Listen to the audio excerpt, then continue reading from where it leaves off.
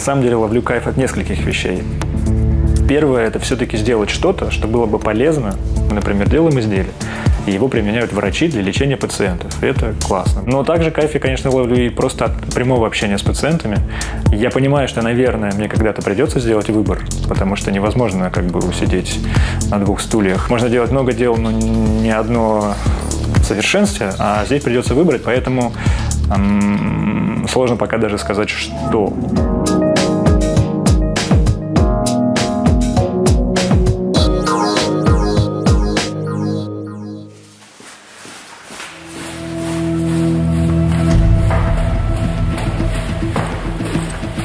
Главное мое достижение – это регистрация медицинского изделия. А, называется гистографт. Фактически это генактивированный материал, который мы разработали в коллективе и внедрили в клиническую практику. Что, что это значит простыми словами? Генактивированный материал – это изделие, которое по внешнему виду напоминает белый такой песочек, песчинки диаметром не более там, миллиметра, и на поверхности этих песчинок нанесены специальные молекулы, которые стимулируют регенерацию костной ткани. Соответственно, если песчинки эти поместить в зону костного дефекта, куда-то, где кость утрачена, где нужно ее воссоздать, происходит стимуляция регенерации костной ткани, и кость постепенно восстанавливается как раз-таки за счет этого материала. Это яркий пример а, создания такого, знаете, э, экстремально яркого биотехнологического продукта в Российской Федерации, который дает возможность получать э, эффективную помощь пациентам. Аналогов вам сто процентов скажу нету абсолютно. Вся концепция совмещения одного действующего начала и второго действующего начала в одном изделии. Именно технология этого совмещения, отработка этой технологии, вопрос стерилизации – это абсолютно вклад э, Ильи.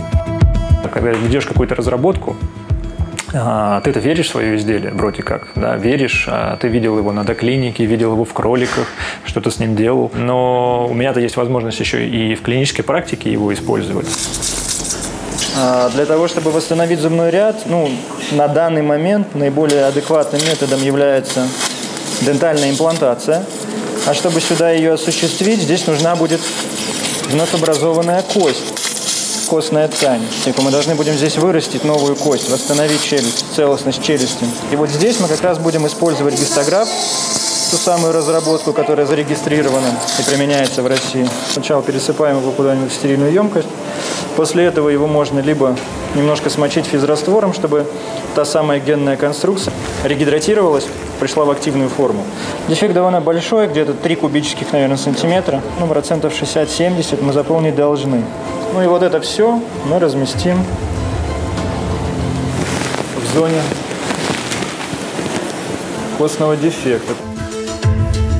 И вот когда через 4 месяца а, уже на этапе установки имплантатов я вот все это дело раскрывал, убирал сетку и смотрел на регенерат просто своими глазами, вот это было удивительно, что там полностью выросла кость, причем она, мы снимали даже видео по этому поводу, стучали по ней инструментом, чтобы доказать, что это кость. Биоптат оттуда забирали.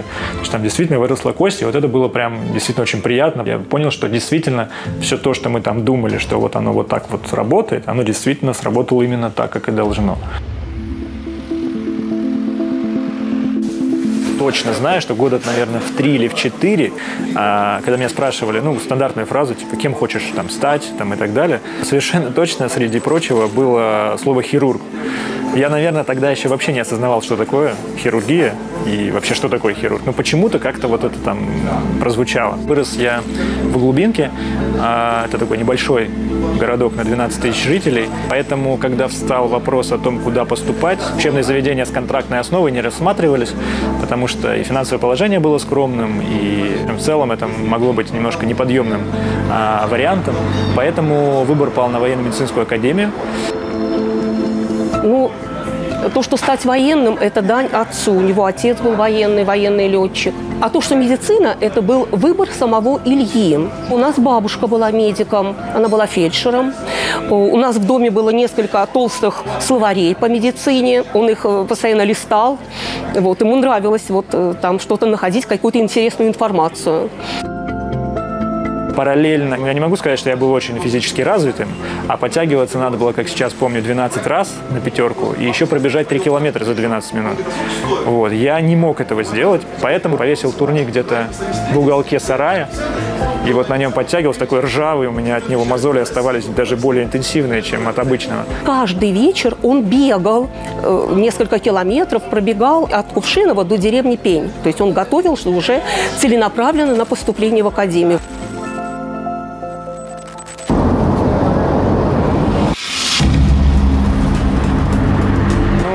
Могу сказать совершенно точно про военно-медицинскую академию. Учиться мне там очень нравилось.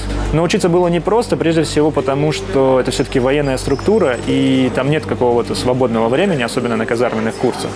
И, ну, например, часы самоподготовки это совершенно как бы не секрет. Мы там часто проводили, убирая листья в парке. И, соответственно, готовиться приходилось э, к занятиям следующего дня, в том числе ночью. Как только дежурный по академии уехал, все, кто хотят поучиться, встают за учебники, значит, на взлетку. Взлетка – это коридор э, в казарме. А, значит, все садятся на стульчики и, в общем, читают к утру. С сентября взлетка была вся полная. То есть весь курс 100 человек практически, без исключения. Вот все выдвигали ночью эти стульчики, все сидели там, чего-то заучивали. Ну, и как бы это не пафосно звучало, к концу года там было всего несколько человек, и я в том числе. А, Илье тогда было 16 лет. Это был первый курс факультет подготовки врачей для ракетных и сухопутных войск, а я был начальником курса. Это просто, ну, практически царь и бог. Это тот, кто а, управляет твоим личным временем, тот, кто может тебя отправить на работу, отпустить или не отпустить в увольнительную. Первые полгода а, командир кого замечает? Ну, на языке военных тех, кто залетает. Значит, поскольку Илья не залетал, он был хорошо воспитан. Вечерняя поверка идет, фамилия на букву «Б», второй взвод, курсант Базо я, и слава тебе, Господи, и все хорошо.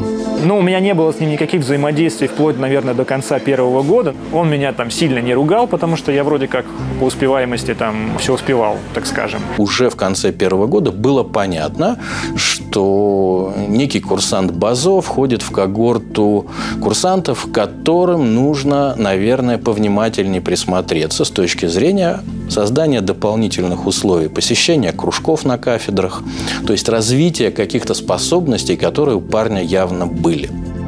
Я просто предложил, уже как будущий преподаватель, чтобы он э, не уходил из поля зрения и присоединился к нам, э, к нашим исследованиям. Я, конечно же, согласился. Но представьте, на первом году, мне там 17 лет, и тебе начальный курс, и царь и бог говорит, а хочешь со мной еще наукой позаниматься? Ну, конечно же, что ты скажешь? Конечно, хочу. Я тогда еще очень мало чего понимал, но, в принципе, понимание выстраивалось ну, довольно интенсивно. Он давал мне определенную литературу, которую я должен был освоить, чтобы его же словами выражаясь, говорить с ним на одном языке. Параллельно с этим, а, конечно, мы стали ему передавать работы, связанные с тем объектом, который мы изучали. Мы занимались занимались костной тканью. Илья потихонечку стал вливаться в изучение регенерации костной ткани, и из этого, в общем-то, откристаллизовался его интерес, если хотите, к практической хирургической остеологии. Еще в стенах военно-медицинской академии, когда я учился, а, мы выполняли ряд исследований. Все исследования были посвящены регенерации костной ткани, и мы использовали так называемые стволовые клетки там и прочее. А потом поняли, что вся эта научная тематика, по крайней мере в наших руках, не работает должным образом. Потому что кость – сложная история. Таблетку не дашь, укол в кость не сделаешь, Туда нужно как-то доставить это активное вещество. И в 2011 году, когда я уже закончил академию, а, возникла как раз идея у моего научного руководителя, еще у ряда коллег, о том, чтобы использовать не живые клетки для стимуляции регенерации, а, а фактически гены в случае нашего изделия. Ген, который кодирует белок, который, в свою очередь, стимулирует образование сосудов. Нам кажется, что кость, она статична, на самом деле метаболизм у кости очень серьезный. А во время регенерации максимально серьезный. Поэтому вопрос сосудистого снабжения, вопрос собственных сосудов в этом костном регенерате – это вопрос номер один. Без них ничего не будет. Основная проблема еще была в том, что нельзя просто из этого взять этот препарат и полить зону костного дефекта. Просто потому что, просто в виде жидкости. Потому что это все выльется, потому что это никуда не попадет и никак не сработает. И здесь нужно было объединить сразу несколько технологических таких подходов и биоматериаловедения, то есть там должны быть какие-то материалы, которые замещают временно костный дефект, и вот эту молекулу, которая несет свой эффект, и их еще и как-то объединить. И на самом деле ключевая технология, которая, в принципе, у нас и запатентована, и она как бы сердце нашей такой технологической вот этой всей платформы, это как раз способ объединения вот этих любых фактически а, генетических структур плазмидных ДНК и фактически любых биоматериалов. Ну, и твердых, и мягких, и гелевых. Прежде всего твердых. С твердыми самая большая проблема. Это изделие медицинское, бинарное, состоящее из двух компонентов. Компонент первый – это носитель, компонент второй – это действующее вещество. Носитель здесь не пассивный. Это разработка Института металлургии и материаловедения имени Байкова, профессор Комлев Владимир Сергеевич. Нужно создать а, а, как бы синтетический материал, то есть обмануть организм, чтобы он понимал, что это свой. То есть он бы и не выкинул и сказал, что это лишнее, это не мое. Поэтому создание матрикса было уделено достаточно большое внимание. Профессор Комлев добился не только химического сродства, но и определенного рельефа, который очень нравится клеткам костной ткани. Они селятся и работают на нем гораздо лучше, чем в другом месте те самые гранулы белого цвета. Это та самая керамика, результат многолетнего труда Комлева. Это синтетическая кость максимально органотипичной форме. А второй компонент, действующее начало, это препарат для генной терапии.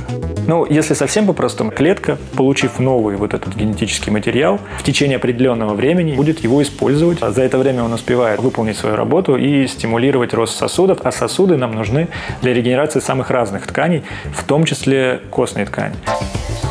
То есть задача этого изделия заполнить собой дефект в кости и обеспечить максимально быструю перестройку, чтобы это место заполнения механически не было ущербным, чтобы как можно в более короткий срок оно вновь приобрело все физические, механические характеристики исходной кости.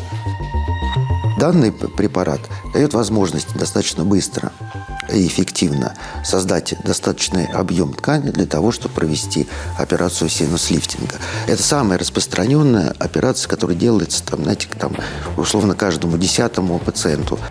Когда зубы утрачиваются у людей, а дальше в этом месте происходит резорбция кости, то есть кость рассасывается, потому что организм понимает, ну раз зубов нету, значит там, наверное, и кость не нужна, поэтому кость постепенно уходит. А когда человек вдруг возвращается к мысли, что неплохо было бы восстановить зубной ряд, то оказывается, что кости недостаточно, чтобы там что-то сделать, установить дентальный имплантат и так далее.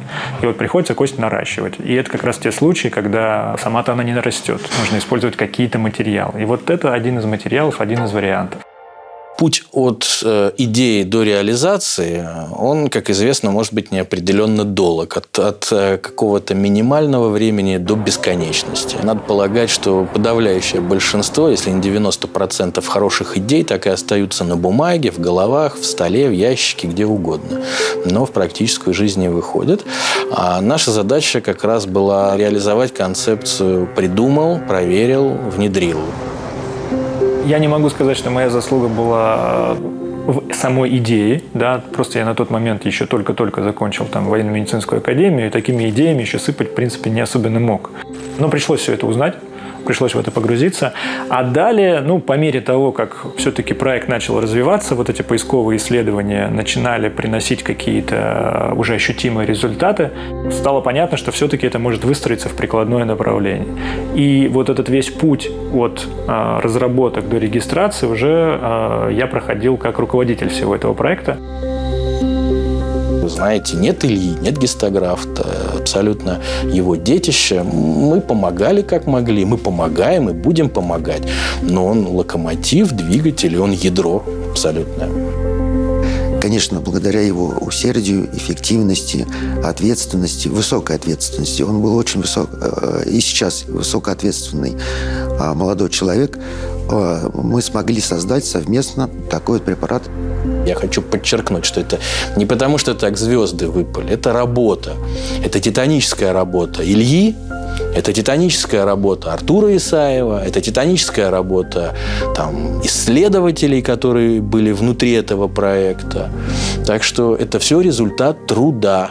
Это не просто какие-то счастливые, значит, случайности. Нет. Самое важное достижение – это была как раз регистрация этого изделия. Это действительно было знаковое событие, когда у вас есть какой-то кандидат в изделие, уже ощутимый, вы его держите в руке, а дальше, вот чтобы его смогли держать в руке другие врачи и использовать для лечения пациентов, должен быть пройден определенный путь. И вот этот путь регистрации с вот этими всеми исследованиями занял у нас с 16 по 19 год. Ну, то есть там, более трех лет. Поэтому, конечно же, когда там, а, в 20-х числах апреля 2019 года все-таки Росздравнадзор а, принял решение выдать нам регистрационное удостоверение, это было, конечно, большое счастье.